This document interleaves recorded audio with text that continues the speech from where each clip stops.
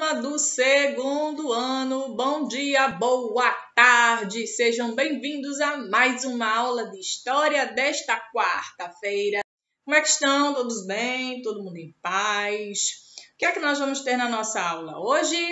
Correção da tarefa de casa. Eu trouxe um texto para vocês ouvirem, aprenderem coisas novas, pois hoje nós vamos falar sobre um assunto novo que não está no livro de vocês. É uma data comemorativa muito esperada por todas as crianças nesse mês de outubro que se chama Dia das Crianças, exatamente. É sobre isso que nós vamos conversar, pois está chegando sim, esse dia será na semana que vem.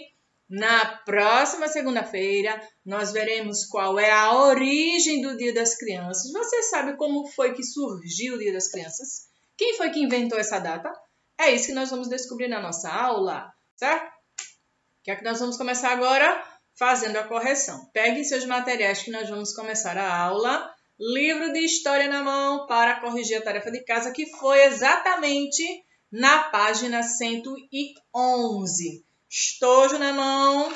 Vamos lá? Hoje nós não vamos usar o caderno, certo? Será um texto que eu trouxe para a nossa aula e a atividade que eu vou passar para casa será na folha. Sem poder é, usar a folha, o que é que você vai fazer? Você vai desenhar diretamente no seu caderno de desenho. Combinado? Então vamos começar. Na página 111, foi apenas esta página para casa. Todo mundo fez? Muito fácil. Muito fácil mesmo de responder.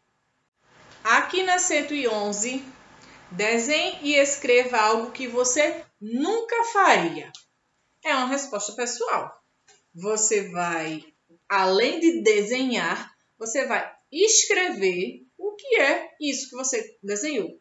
O que é que você jamais faria? Não, eu nunca faria isso da minha vida. Você vai fazer um desenho e escrever o que foi que você colocou, o que é que você quis mostrar com o seu desenho, colocando as palavrinhas na linha. Percebam que aí, além do retângulo, tem uma linha preta abaixo do desenho, bem aqui. Nessa parte aqui. Tem uma linha, estão vendo no livro de vocês? Nesta linha você vai escrever o que foi que você desenhou. É a resposta pessoal. No segundo, escreva algo que você gostaria que sempre existisse e justifique sua resposta. Também uma resposta pessoal. O que é que você acha que é algo que não deveria acabar nunca? Isso que você está imaginando deveria existir sempre, não terminar jamais. Você vai escrever. E o porquê? Você precisa justificar a sua resposta. Outra coisa pode ser: uma comida, um meio de transporte, um sentimento, uma viagem, uma oportunidade, qualquer coisa.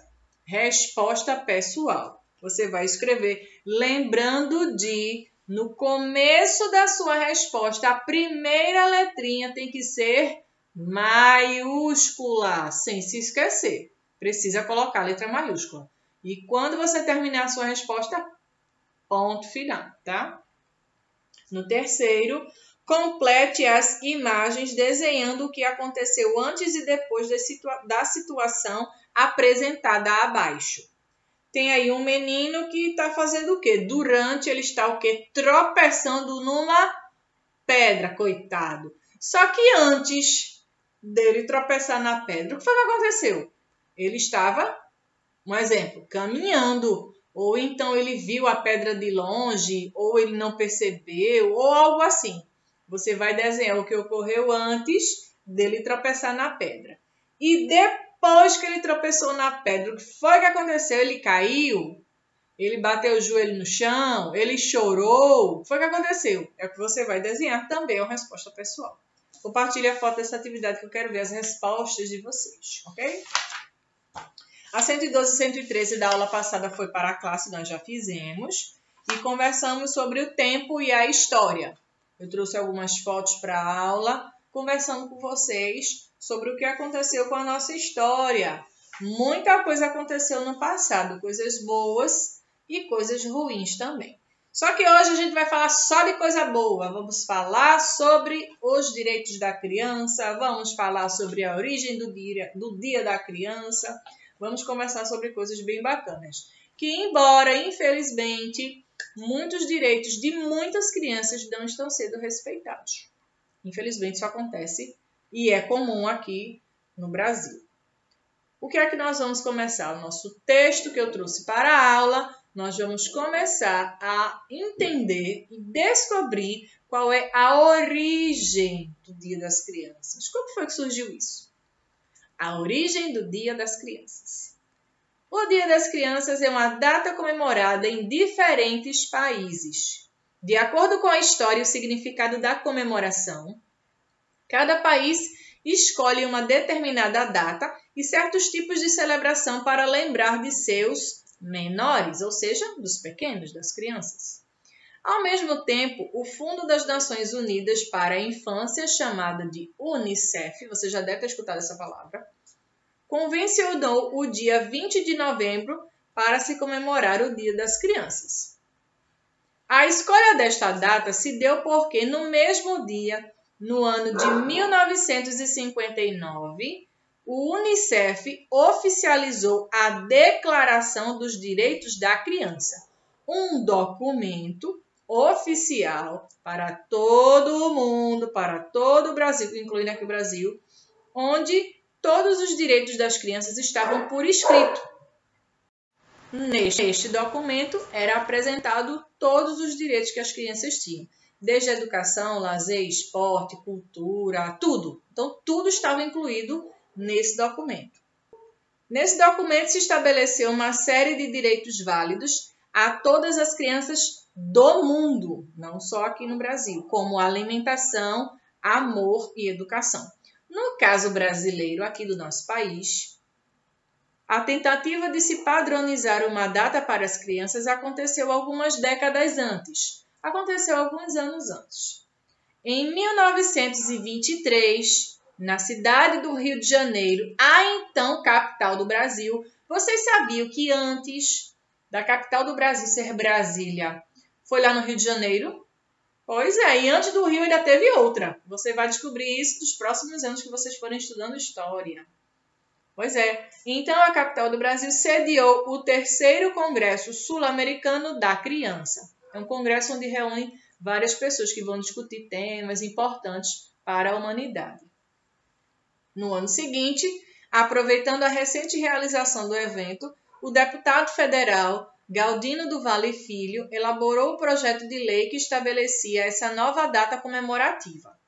No dia 5 de novembro de 1924, o decreto número 4867 instituiu 12 de outubro como data oficial para a comemoração do Dia das Crianças.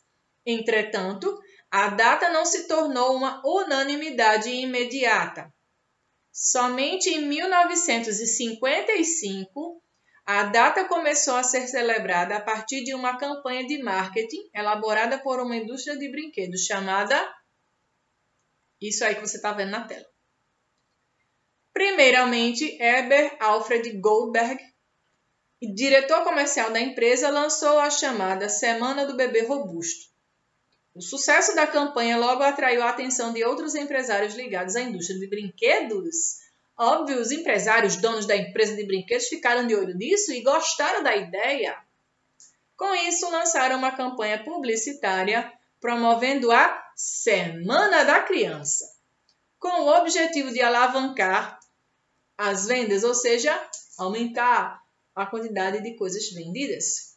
Os bons resultados fizeram com que esse mesmo grupo de empresários revitalizassem a comemoração do 12 de outubro. Ou seja, eles deram um up nessa data comemorativa. Agora sim que essa data comemorativa vai alavancar no Brasil e todo mundo vai comemorar.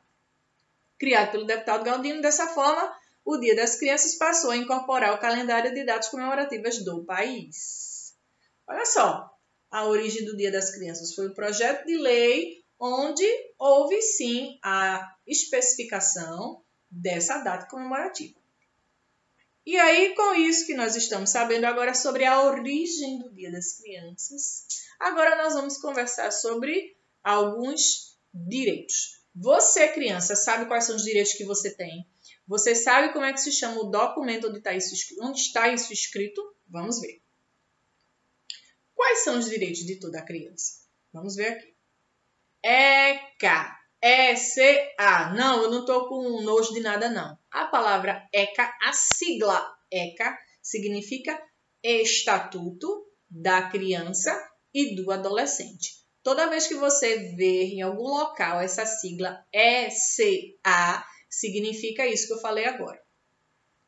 Este ECA, este estatuto, cuida especificamente de uma área, os direitos dos pequenos da sociedade. Todos temos muitos direitos da sociedade, todos nós temos direito na sociedade, junto com as pessoas que convivemos, desde pequenos até os adultos. Inclusive, quando maiores, esses direitos parecem até que diminuem, pois talvez deixamos de nos preocuparmos com isso, achamos que são detalhes ou não vamos mais atrás. Mas e a criança que não tem conhecimento da maioria de seus direitos? Você sabe quais são os seus direitos? Você, criança, sabe quais são os direitos que você tem? Principais direitos das crianças: ter uma educação de boa qualidade. Esses aqui são os principais. Por, por, esse documento do Estatuto da Criança e do Adolescente, ele é muito comprido, tá? É muito extenso. Então, aqui está abordando apenas os principais direitos da criança. Tudo bem, ainda tem muito mais. Outro, ter acesso à cultura e aos meios de comunicação e informação. Você, criança, tem acesso sim, tem o direito sim a ter cultura e acesso aos meios de comunicação. Os meios de comunicação, como internet, jornal, revista, TV e tudo por aí vai. Não confiando, obviamente, em todas as fontes da internet. Tem muita coisa circulando por aí, né, pela internet, que não é verdadeira. Então, a gente precisa buscar informações em fontes confiáveis. Os jornais são um exemplo disso. Outra coisa, poder brincar com outras crianças da mesma idade. É um direito que vocês têm. Não ser obrigado a trabalhar como adulto. Criança não trabalha. Criança tem que estudar, brincar, ser criança ter uma boa alimentação que dê ao seu organismo todos os nutrientes que precisam para crescer com saúde e energia. Receber assistência médica gratuita nos hospitais públicos sempre que precisarem de atendimento. Embora em muitos países esse direito é violado, não é respeitado pois tem muito hospital público que não atende. Muitas vezes eles até dispensam a criança porque não tem leito, porque não tem médico, porque falta medicação, porque algum aparelho de raio-x ou qualquer outro aparelho quebrou. E é um direito de cada criança receber um atendimento de qualidade em hospitais públicos. Ser livre para ir e vir, conviver em sociedade e expressar ideias e sentimentos você pode expressar suas ideias, a sua opinião e expressar o que você está sentindo. Se você está feliz, se você está triste, se você está com medo, se está assustado, é um direito de toda criança também expressar aquilo que ela está sentindo. Pois a nossa opinião também é válida, embora nós precisemos sim de orientação dos adultos, que são pessoas mais experientes que podem nos ajudar em momentos de diversas situações, tá? ter a proteção de uma família, seja ela natural ou adotiva. Existem sim crianças adotivas e elas também têm o direito a ter a proteção, mesmo que a sua família seja natural ou então adotiva. Ou de um lar oferecido pelo Estado que, por infelicidade, perderem os pais ou parentes mais próximos. Existem algumas crianças que elas vivem em abrigos, em orfanatos, aguardando alguma família as adotarem. Às vezes, em alguns casos, as crianças perderam seus pais ou a sua família, ou mesmo foram abandonados por sua família e não tem parentes próximos que possam cuidar dela e acabam indo para o orfanato, aguardando por muitos anos lá até serem adotadas ou até se tornarem adultos e não sofrer agressões físicas ou psicológicas por parte daqueles que estão encarregados da proteção e educação de qualquer outro adulto. Obviamente, ninguém deve ser agredido, pessoa nenhuma nem criança, nem adulto, nem idoso, nem ninguém, mulher, animais, ninguém. Ninguém deve ser agredido, todo mundo deve ser respeitado.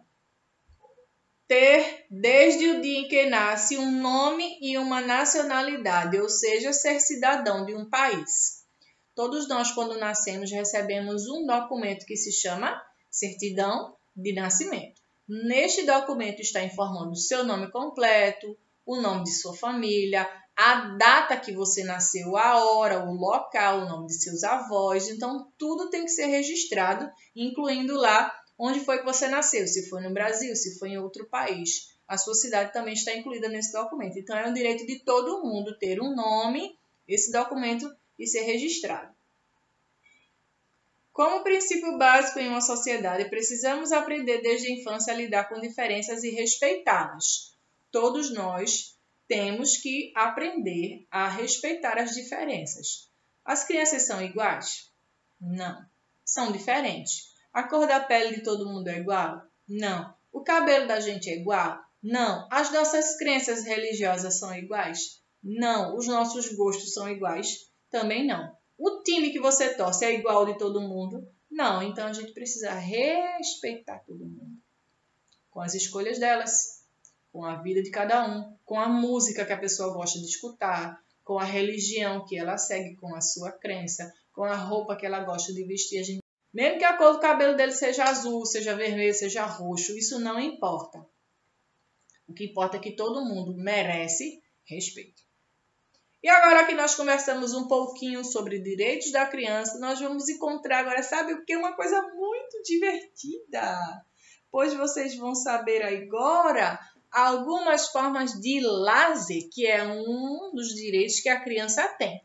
Ter os seus momentos de lazer, de brincar, de se divertir, assim como nós, quando crescemos, nos tornamos adultos, também precisamos de momentos de lazer. Vocês que são crianças também merecem.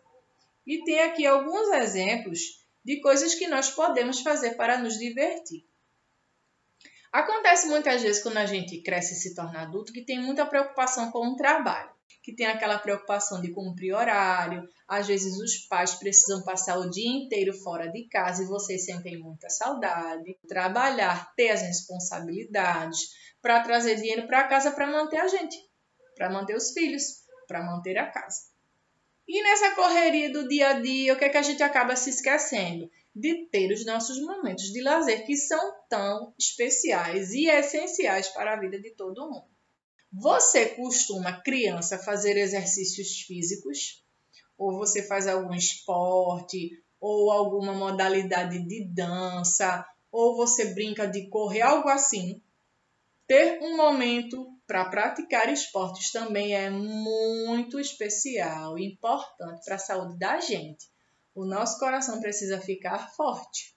E para isso a gente tem que se exercitar. Se você faz aula de dança, ou aula de algum esporte, ou você faz uma simples caminhada, ou uma corrida, anda de bicicleta, anda de patins, algum esforço que você faz, esforço físico, e tendo um momento de lazer, é melhor ainda caminhar, inclusive para alguns locais que existem parques, parques arborizados. Você pode sim, inclusive, fazer caminhada com a sua família. Né? É uma opção.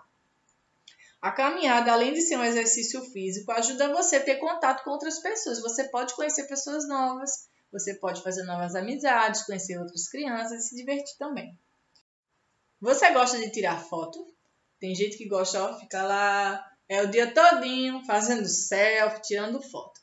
Fotografar também é uma outra opção de lazer que muitos adultos gostam e algumas crianças também.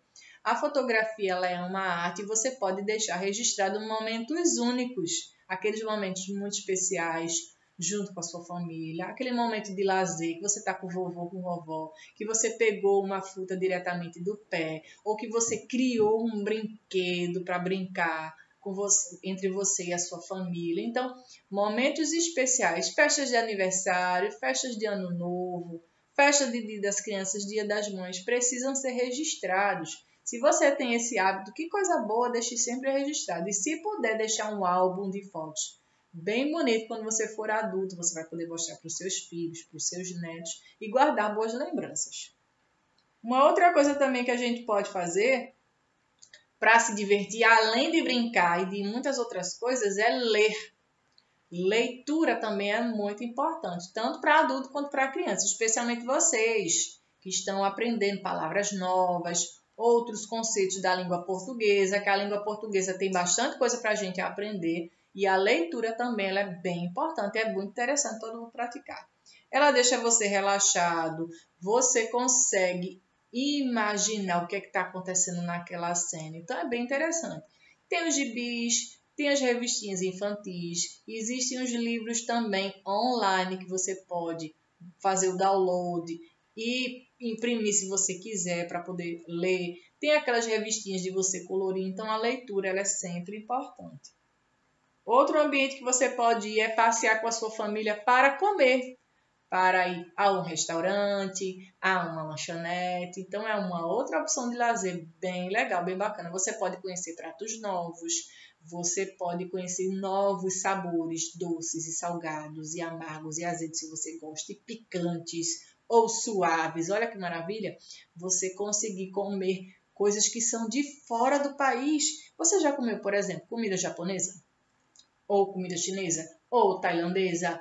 Ou americana? Ou italiana? Ou francesa? Então, é, é também é bem interessante a gente poder adquirir outras culturas. Olha, a cultura também é um dos direitos que a gente tem e conhecer pratos novos, incluindo os próprios pratos que são brasileiros, que vieram da África, que a gente adquiriu com contato com os indígenas, onde a gente aprendeu muitas receitas gostosas. Lá na Bahia, especialmente, existem vários pratos típicos lá da África, trazidos pelos africanos e que até hoje as pessoas cozinham.